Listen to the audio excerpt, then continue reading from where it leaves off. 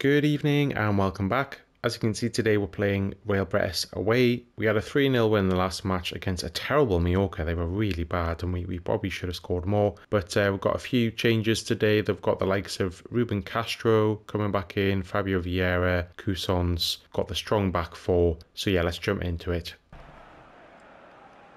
Beautiful looking stadium. And it's in the day, which is nice to see.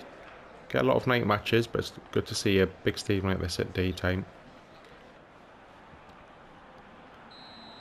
And yeah, although the last match was comfortable, um, we certainly weren't at our best. And I think it was almost like Mallorca playing so badly affected how we played as well. It was a, a strange game. But hopefully better this game. Although the league is, uh, I mean, we're 13 points ahead now. So extremely comfortable at the moment. Here's Martinelli. Oh, Castro. Good save. Should have scored there. Really should have scored. That was beautifully worked.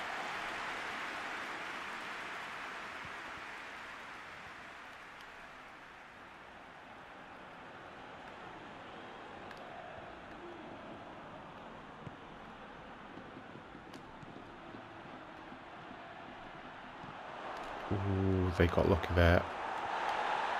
The ball could have gone anywhere.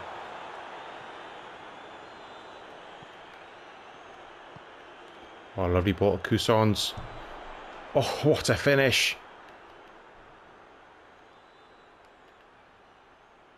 That was absolutely hammered in there. The ball in from Vieira, I think it was, to Cousins, and he just hammered it in with his right foot.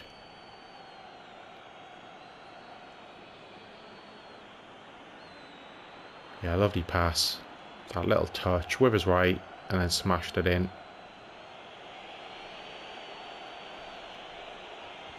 What a start and what a goal.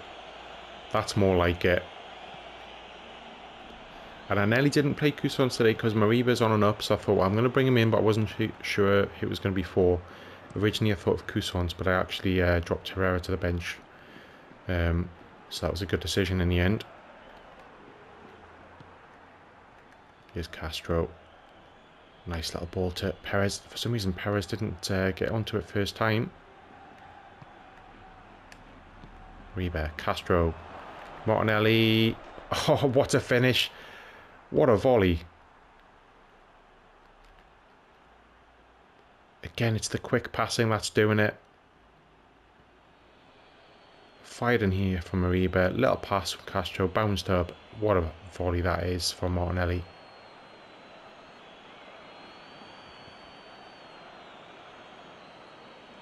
Castro with another assist.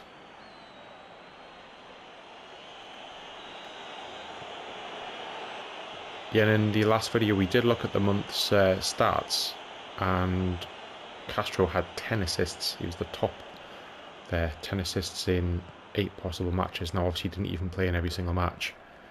Um, brilliant stuff. Martinelli, Castro, good save. Probably should have scored though that's it. The, the system we play, the, the strikers really not the biggest goal threat. I mean, you know, Castro scores goals for fun sometimes, uh, Zirkzee too, but it's they're really there for the link up. They pass it off to the wingers or the attack midfielders. Um, that's why they get a lot of assists. It's really the wingers that tend to get the goals for us. Oh, that's a poor effort from Castro. Probably should have passed it. But like I say, I mean, Castro himself is a magnificent goal scorer. He's probably one of our best finishers. Uh, he, well, he definitely is one. Whether he's the top one, I'm not sure. But um, he's such a natural goal scorer.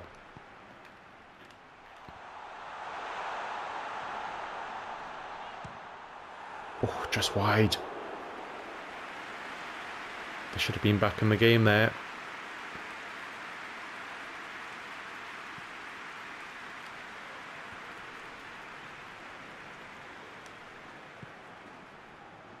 One thing I'll say is, I've mentioned it a few times, haven't seen Emerson as much involved um, Now, when we first signed him and Bakker, I would say he seemed to be the one that was more convinced he was going to be the better signing for the wing backs.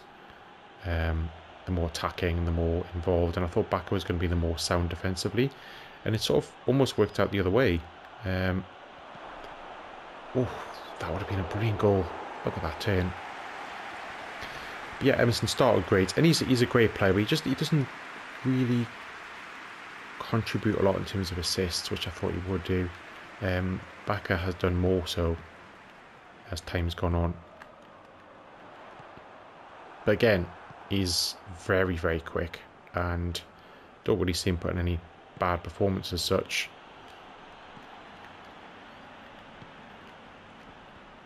And our wing backs are really there for support more than anything.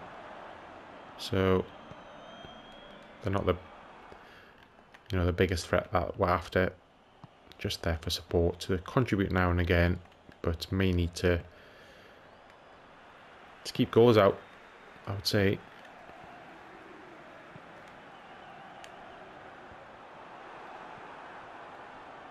Nice play there.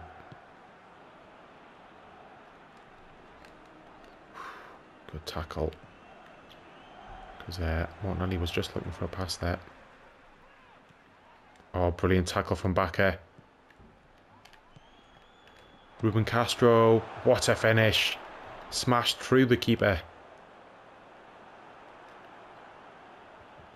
And just when I was talking about Bakker, what does he do? He gets the ball back high up the field. A nice run, a tidy little pass. It's smashed in. The keeper probably should have done better.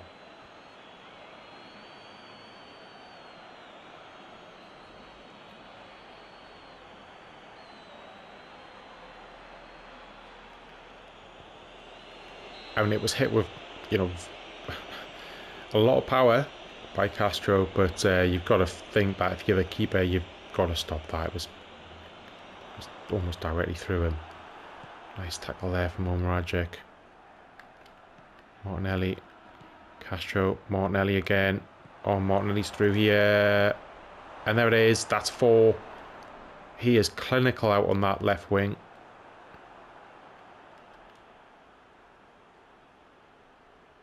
Yeah, nice little one, two. It's that first touch and the burst of pace. Slot around the keeper.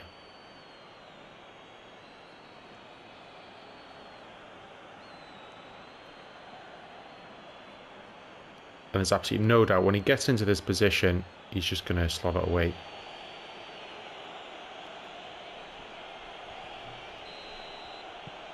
And already 4 0 just before half time. Been very clinical in this game so far. Again, Bakker breaks it up, gets a little bit unlucky actually. Here's Castro. And there it is, half time. Goussons, Martinelli, Castro with the goals. And Real Betis apparently had 55% possession. Don't know how because it seemed like we had the ball pretty much all of the time. But uh, it's goals that count. Into the second half. Now, I want to keep this going. We didn't make any subs in the last game, but I think we certainly will in this one. Castro. Perez. Oh, it was quite a way wide in the end, but it was worth an effort.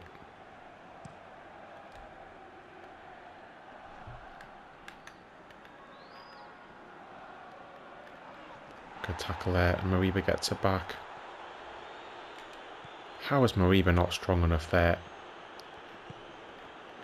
The uh, the AI got some. I don't know. The, the strength thing is a bit weird when you're playing the AI at the speed as well. Players that are clearly a lot stronger lose out. Nice little thought of a pass there, just wasn't executed.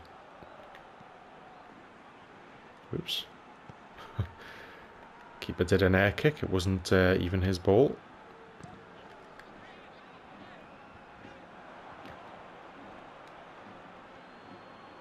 Martinelli now. Martinelli. Oh, well wide. It's not like him. that was for the hat trick as well.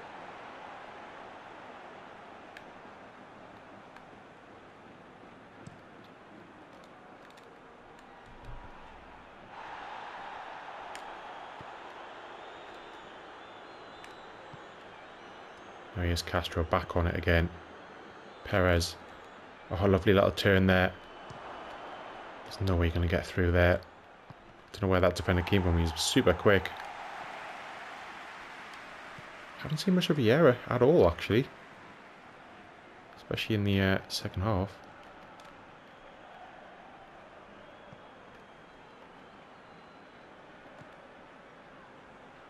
And we'll make some subs soon, assuming the ball goes out in the next few minutes.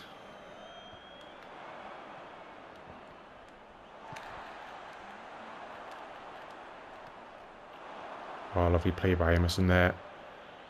And charging forward.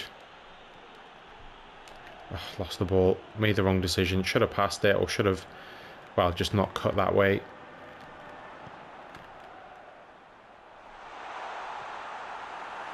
Yeah, we're tracking back.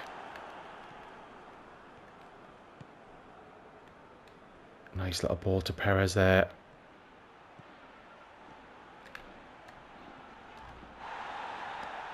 That's not a foul.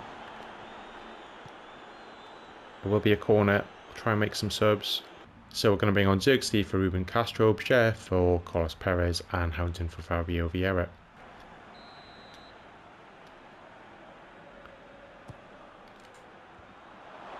Ooh, very good corner, and uh, just couldn't get enough power on it, really. Good effort. He's crossing out. Zirkzee. Share.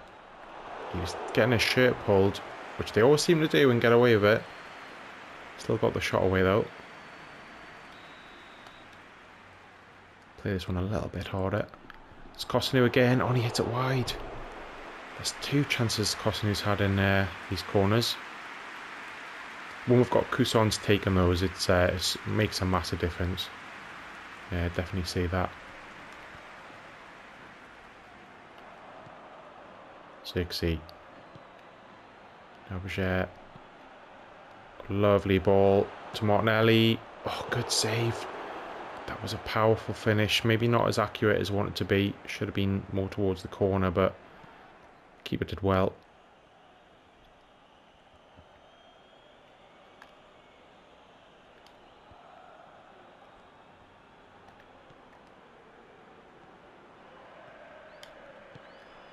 Now here's Emerson.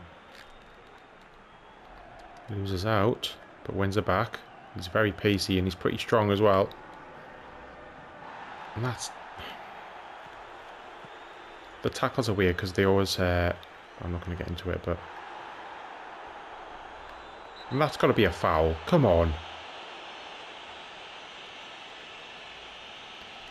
Finally get one. He's just absolutely lunging in there.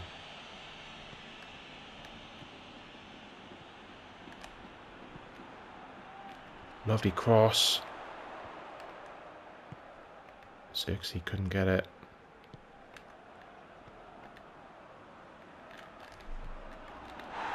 Good tackle there. Yeah, to Zirkzee.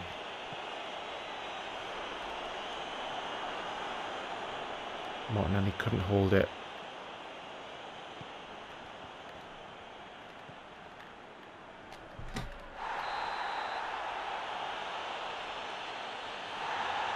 It's a yellow card for our first foul. It was a pretty hefty one though.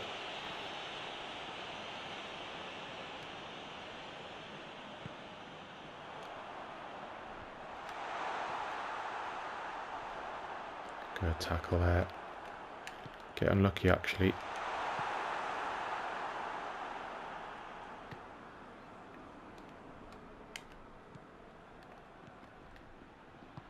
That's not who I was trying to pass it to. Never mind. Good tackle. How is that? This is what I mean about the tackle. Sometimes the, the, the physics detection is a bit odd. Nice pass somehow. Bajir hasn't got the pace even though he's got fresh legs and he's just come on. Um, looks like it's just going to be the four. say just, but you know. Bajir again. Zirkzee. Emerson. Now Emerson again. Just kept it in. Here's Bajir. Why? Why is the referee blew his whistle there? I literally had the ball in the box and I was about to shoot. I was going to score. That is the worst. Look. I'm on the ball. I'm just about to shoot. If it was a penalty, fair enough.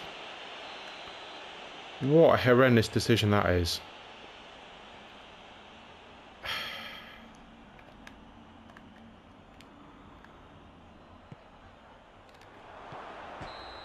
Yeah, what a ridiculous referee. Anyways, full time, 4 0. And somehow Real Betis still had the better of the possession, but look at that 16 shots with 11 being on target. That's all you can say, really. It doesn't matter about the uh, possession. Real Betis were pretty awful. And Castro man of the match, and I'm sure Martinelli was a close second. Coussons played well too. Very good all round performance. Shame we didn't score more goals in the second half. But that's it for today, guys. The next match is back in the Europa League, the first leg against Atalanta at home. Massive match there. Hopefully, we can get through that one. But thank you very much for joining. Hit that like button, drop a comment down below, and think about subscribing to the channel. I'll see you all next time. Cheers.